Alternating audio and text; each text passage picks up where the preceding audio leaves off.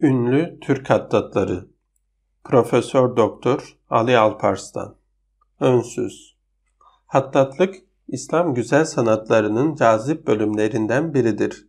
Yazı temeli üzerine kurulmuş olan bir çeşit sürrealist resim diyebileceğimiz hat sanatı, İslamiyet'in doğuşundan sonra gelişti. Araplar milattan önce 6. yüzyılda Kuzeybatı Arabistan'da tarih sahnesine çıkan Arap asıllı Nabati adlı kavmin alfabesini kullanıyorlardı.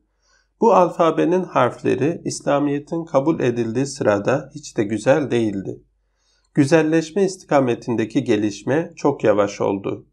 İslam dininin okumaya ve ilme verdiği teşvikin tesiriyle hat sanatı daha Hazreti Peygamber zamanında önem kazanmaya başladı.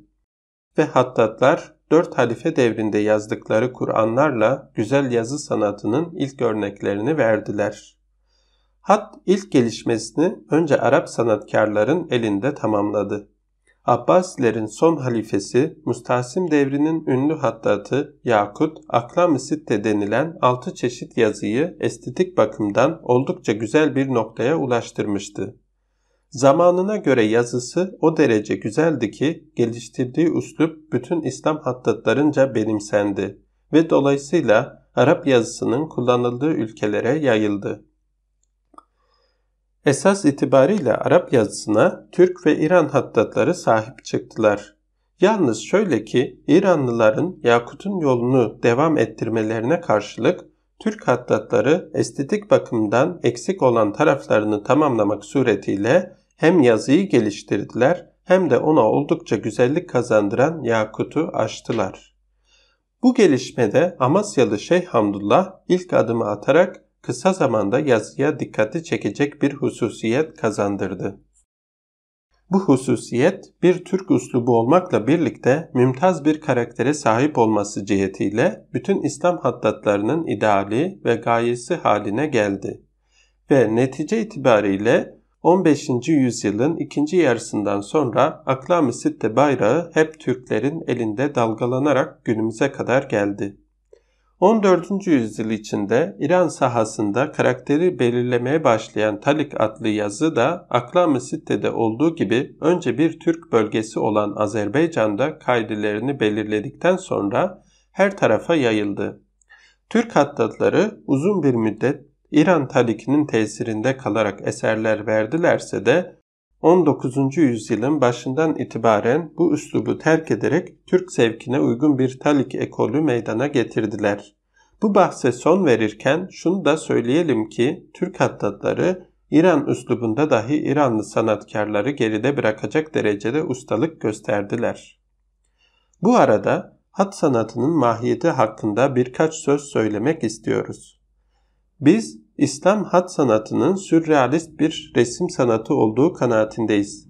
Sürrealist sanat bir nesnenin, bir şeyin, bir şeklin ifadesi veya tasviri değildir. İnsan ruhunda çeşitli fakat genellikle tarifi zor, müphem çağrışımlar uyandırması cihetiyle ve zekayı devamlı hareket halinde tutmakta ve düşündürmektedir. Hat sanatı da böyledir. Gerçi yazıda çizgilerin ve bu çizgilerin meydana getirdiği bir kompozisyonun canlı bir görünümü varsa da bunlar dış alemdeki bir gerçeğin aynı değildir.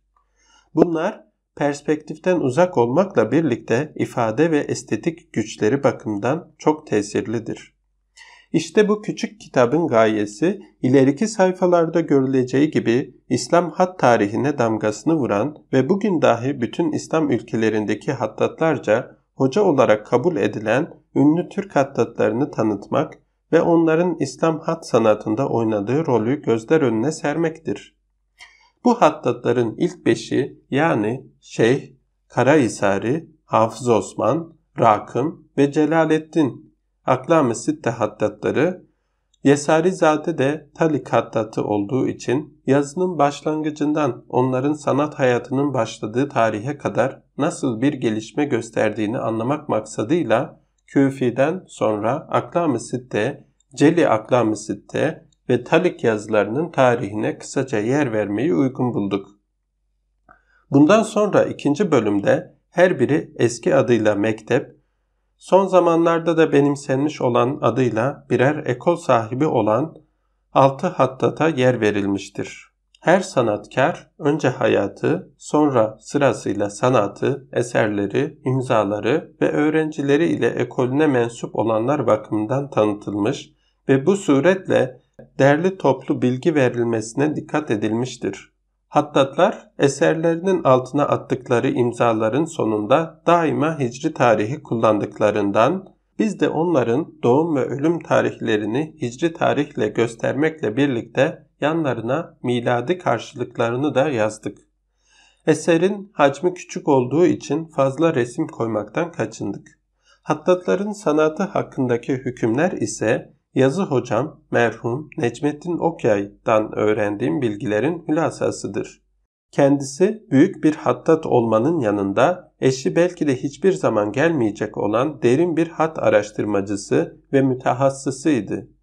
Hat ekollerini, bu ekolleri kuranlarla onların özelliklerini, aralarındaki farkları, ayrıca bu ekollere bağlı olanların yazılarını bilmekte üstad ve hatta imzası ve tarihi kapatılıp kendisine gösterilen bir yazının hattatını ve tarihini aynen veya bir iki sene farkla söyleyecek kadar ihtisas sahibi emsalsiz bir kişiydi. Aslında onun lütfettiği bilgiler olmasaydı bu küçük eserin hattatların sanatlarına dair olan satırları ya eksik ya da yanlış olabilirdi. Ruhu şad olsun. Ali Alparslan